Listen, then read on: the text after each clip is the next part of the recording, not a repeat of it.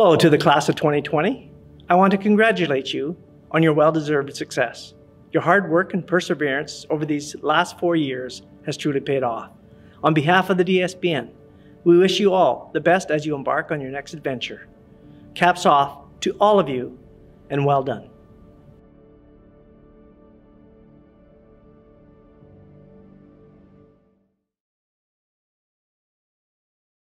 Good evening. Hello and welcome. Coming to you live-ish from room 230.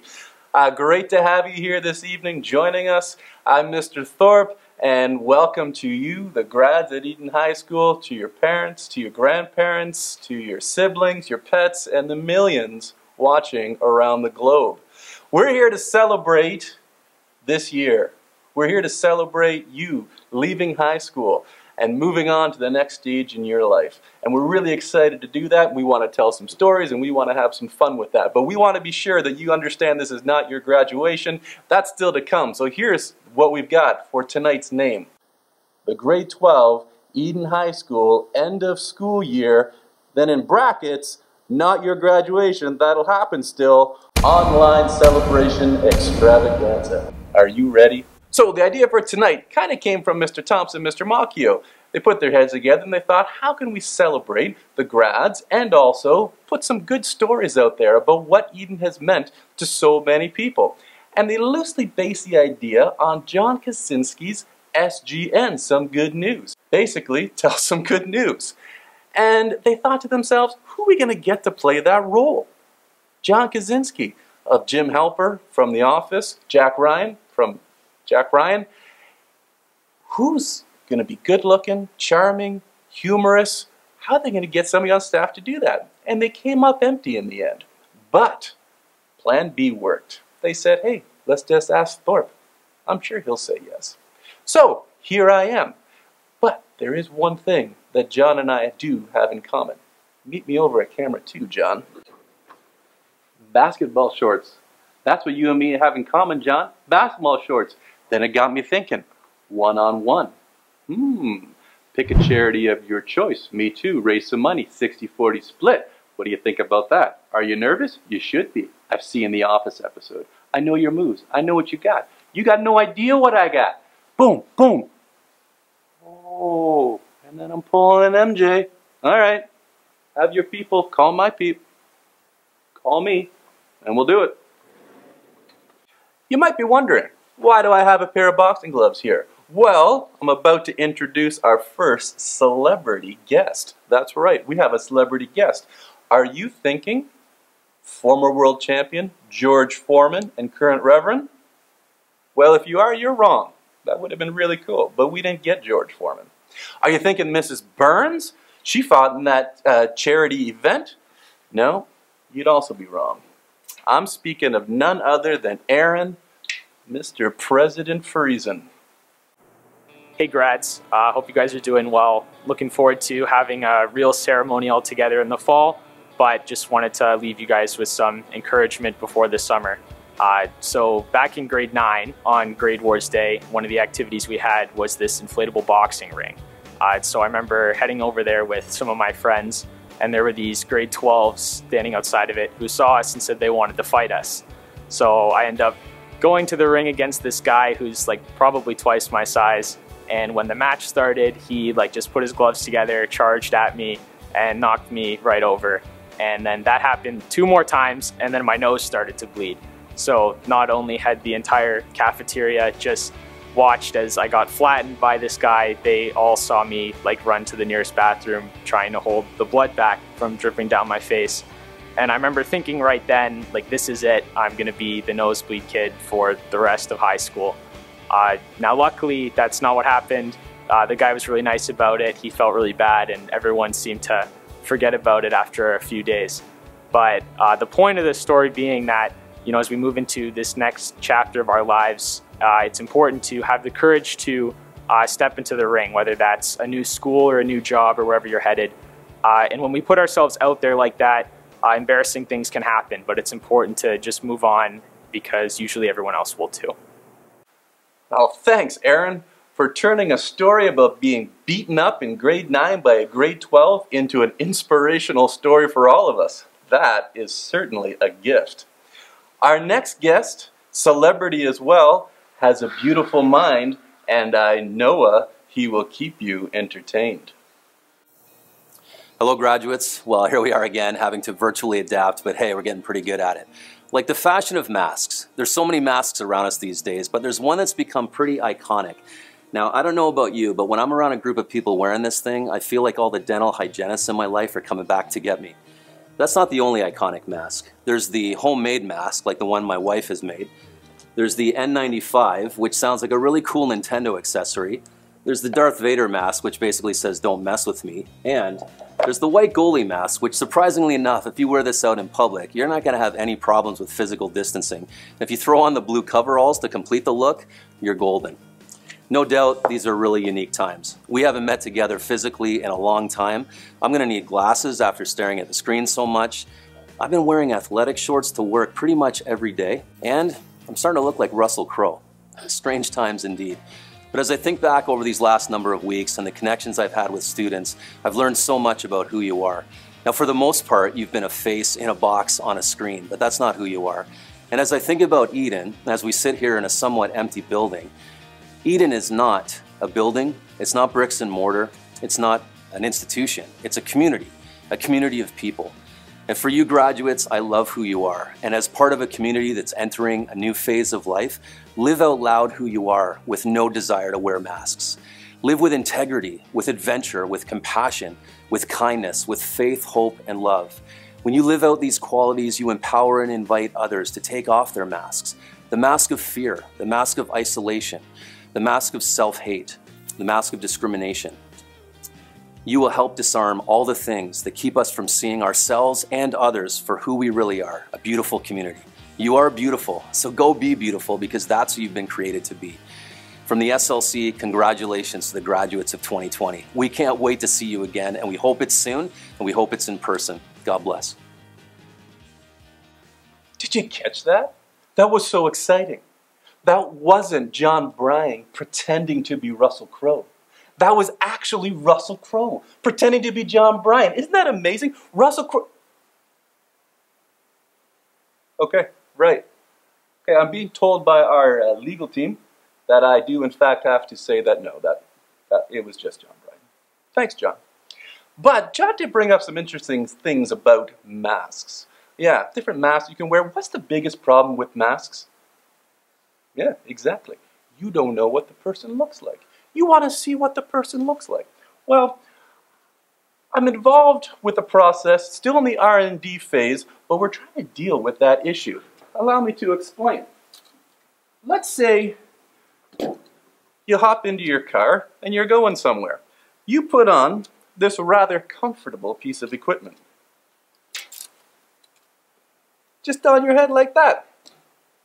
Then you get out of the car and somebody is coming up to you you need to put your mask on. You just turn the apparatus this way. Now look at that. You're saying to yourself, Mr. Thorpe, I didn't know you had a twin. Exactly, I do. No, it's made out of Lego. You put it like that. Now, let's just say they say something shocking. You don't want to stand there with a smile on your face. What do you do then? You simply turn it one more time to the side. Raised eyebrows, big drop jaw, beautiful. But it's kind of rude to stand there like that. So you want to touch them on an emotional level. Know that you're connecting with them. You just turn them one more time. A tear. So, still in the R&D phases, but I think when this becomes available, you're going to be excited. We're going to do a big media blitz, everything on social media, Facebook, Instagram, Twitter, MySpace. We're going to be everywhere. Our next celebrity guest needs absolutely no introduction. Okay, nicely done everybody. Good job. Let's get ready for that next sit. What's that? H, H, O, H, R said that I have, oh, that I need, okay, yes. Uh, so our next celebrity guest is Mrs. Burns, our pr uh, principal. In all my years of education, I have never seen a graduating class face the challenging experiences you have this year. Let's be honest, no one ever has. Learning from home, isolated from friends, no prom, delayed graduation, and an uncertain start to your post secondary careers, all due to COVID 19. It's discouraging, it's unfair, and it sucks. I'm wearing these earrings and necklace today because it reminds me of the story of the oyster, a story I sometimes go to when I'm facing a challenging time. For an oyster to make a pearl, first it has to suffer. Oysters create pearls from grit that gets inside them, irritating them so that they have to produce a layer of shiny coating to go over the grit. Many layers of shiny coating, finally producing a pearl. Only stressed, irritated oysters can create a pearl. No grit, no pearl. If there is a piece of grit in your life and you can't eject it, what then? You can and you have been acknowledging the pain and discomfort of the grit right now. You are persevering, often with dignity, often with integrity, but not always, and that's okay too. You're turning that piece of grit into something new, something different, and you're even turning that piece of grit into something better. I believe in you. I have known you for these past three years, and I believe in each and every one of you. You have the resilience, the determination, yes, you even have the grit needed to overcome these unprecedented challenges and not only to survive, but to thrive. Of all the oysters in the ocean, it will be the class of 2020 that produces the most beautiful pearls. Just you wait and see. Well, thanks for that, Mrs. Burns. Interesting. So what you're telling us is, as long as we put pressure on anything, something beautiful is going to come out of it. Interesting. Let's try that theory with this egg, for example.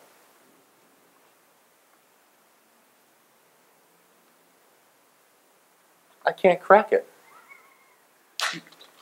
Oh. I cracked it. Oh. oh. She's so wise.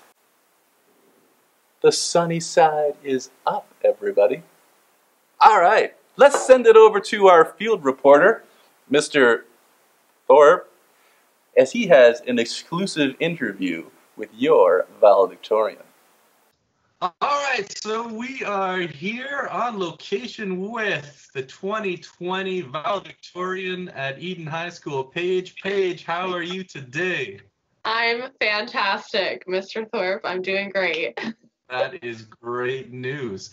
Uh, just wondering, uh, had some questions for you. The first one was, how did you get the news that you were valedictorian, and what was the reaction that you had? So I was actually at work, and the principal just DM'd me, and it she just said, "Call me." And that was it and then sent her number and i was freaking out. I was like what did i do? I thought i was in trouble.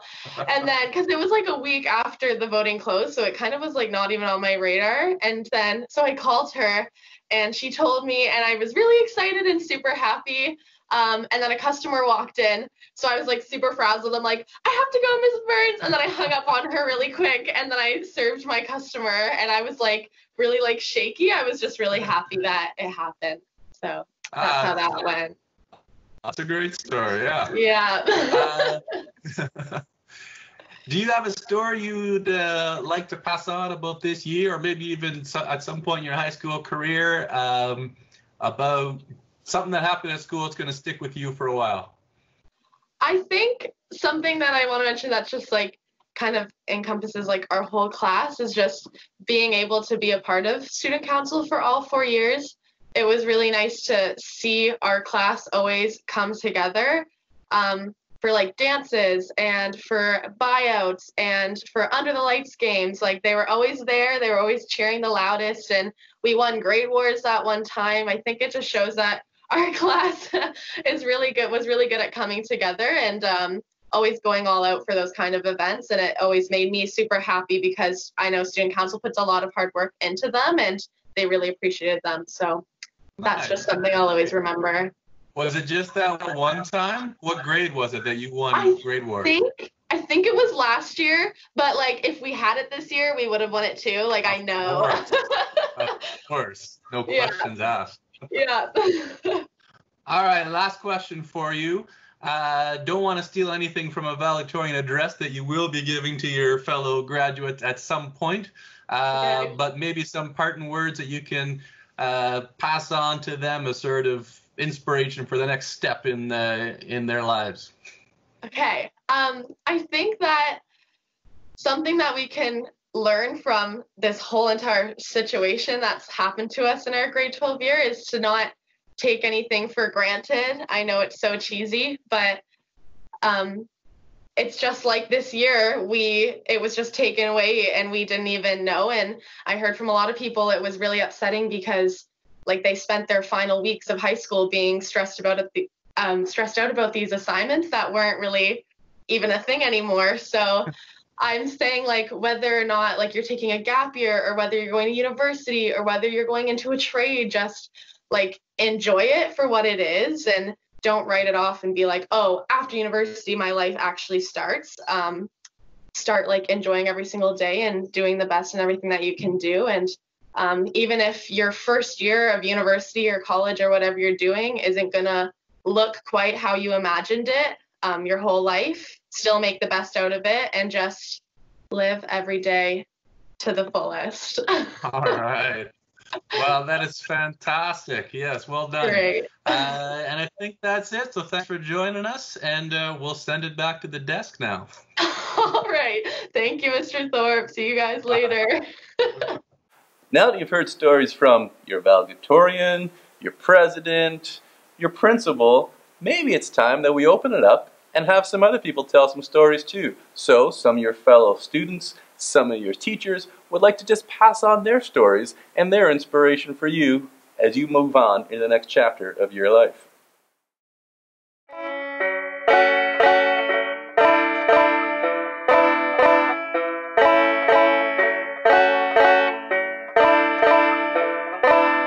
Hey guys. Good evening, everyone. Hey Flyers. Hello fellow grads. Hi guys. Hey, Eden. Hi, my name's Allison Bradley, and I just wanted to congratulate all the other 2020 grads.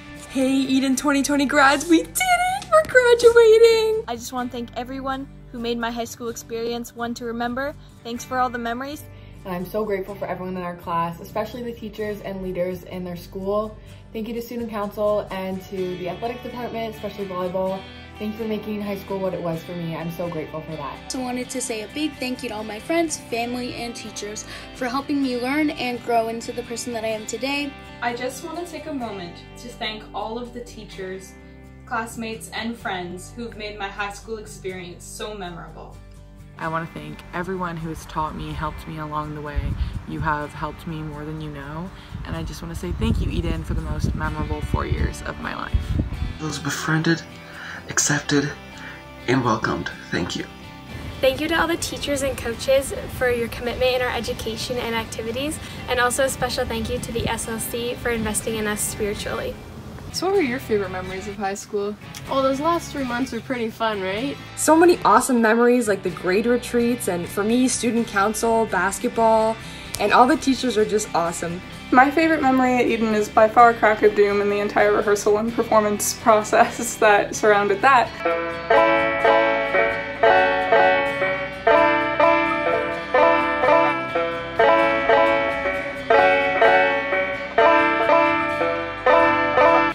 I would also like to say that when we go our separate ways, uh, to remember that you shouldn't be afraid of making mistakes, because it's truly the mistakes we make that help us learn and become better people. So take risks, and don't be afraid of messing up, because no feeling is final, and no task is too impossible.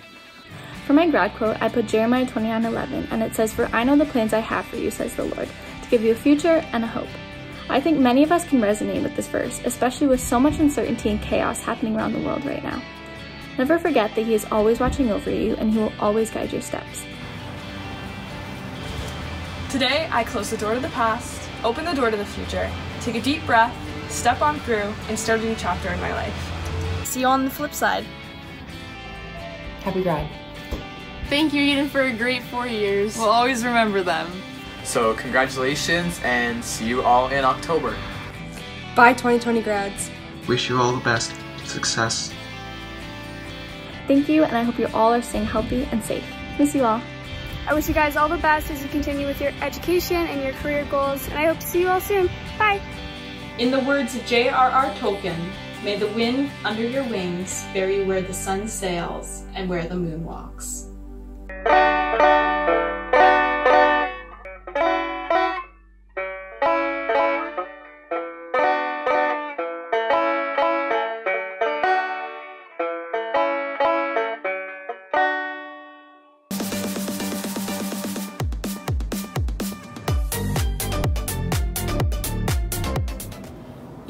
Lot about yourself and about some subjects too. You've faced a mighty challenge and come out a better you. You've had the chance to read great books, explore your passions deep, work with new technology, though the learning curve was steep. Now as you move into the world, new obstacles will come, but you've learned you can face them. You don't have to hide or run. Be sure to ask your questions. Be strong and take a stand. See the needs around you and lend a helping hand. You have faith in friends and family, a community who cares. Don't let your fears define you. Be the one who dares. Yes, you can face your future. You have got this. It is true. Thanks for all you've taught us. May God's blessings go with you. Hey Eden graduates of 2020, congratulations! You have worked really hard over the last four years and should be so proud of your accomplishments. This story is a story you're going to be able to tell for the rest of your life, graduating during a pandemic. I wish you all the best on your next adventures. Hi grads. My message to you today is actually a quote by Glennon Doyle, and it is very simple. You can do hard things. So whenever you find yourself dealing with a challenge or you're finding life overwhelming, I want you to remember that you can do hard things. Congratulations, graduating class of 2020. In your youth, uh, things change like day by day and you continue to grow at an exponential pace. So slow things down, take it in, and breathe in each milestone that you achieve. The future will come fast enough. Congratulations. Bonjour tout le monde, ici c'est Madame Gerbis. Je voudrais dire félicitations à tous les diplômés de 2020 du lycée Eden. J'espère qu'on peut bientôt se réunir en personne, mais pour le moment, je dirais bon courage à tout le monde. Congratulations everyone. I hope that you continue to build the strength of character that I've seen many of you developing, especially over the past few months. Good luck in your future. Make sure you try to do one thing every day that makes you smile. Hey grads of 2020, wishing you all the best in the years ahead. And as you move forward and choose your path in life, always remember, life isn't supposed to be easy. The problem is we think it should be and then wonder why it's so hard. So now that you know this, embrace the ups and downs, learn from them, move forward, and carry on. If there's one thing I've learned in life, is we get to choose our hard. And the other thing, you always have a choice. You've got this. Hi, Eden grads! Congratulations! You graduated from Eden High School. Good luck in all that you do in the future, and we're gonna miss you. Bye! I just wanted to say what a great job the host for this evening is doing. Fantastic. Oh yeah, yeah, yeah. Uh, grade 12s, good luck. Uh, we're gonna miss you. All the best. Bye. Hi graduates, I just wanted to offer my congratulations. I'm so proud of you. And in your future, I pray that you will do your best, be courageous, be successful, and especially follow your heart. Hello Eden graduates.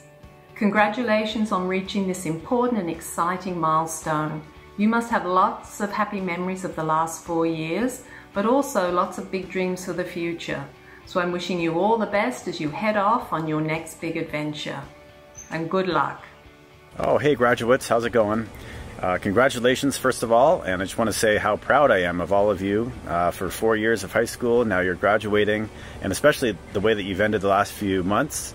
There's not going to be any class in history that's more prepared for the way you have to learn independently in university than you guys, all right? So, congratulations and all the best. Good luck. Hello, class of 2020. They say that you don't inherit the earth from your ancestors, but instead you borrow it from your children. Be a generation that leaves this planet a better place for your children. All the best in your future plans, class of 2020. Hey grads, Mr. Caruso here. If you've taken my class before, you've heard me say, clean up your room. Why do I say that? If you learn to clean up your room, you'll learn what it takes to set your own space in order. Do that enough times and you may just learn what it takes to set the world in order. So congratulations, I hope you accomplish all you set out to do, but don't forget, it starts by cleaning your room. Well, that just about wraps it up for me, but there is one other story I want to tell. See, when the current grade 12s were in grade 9, that was the last time I taught a grade 9 class, grade 9 English, in fact. Period 1, semester 1, those students had to have me as their first experience in high school. I apologize. But what I was able to do was then see those kids like I'd never seen a group before go all the way through their high school years. Grade 9, grade 10 history, grade 11 law, and I still had two of them in my grade 12 history class this year. And what a great opportunity to see the growth and maturity of students as they go through high school. And so I want to leave you with this idea that you are in control of your own story. It's limitless. Wherever you want to take it, you can go. And until we meet again, we are going to, as the Eden staff, leave you with that idea as the Eden staff reads to you a story.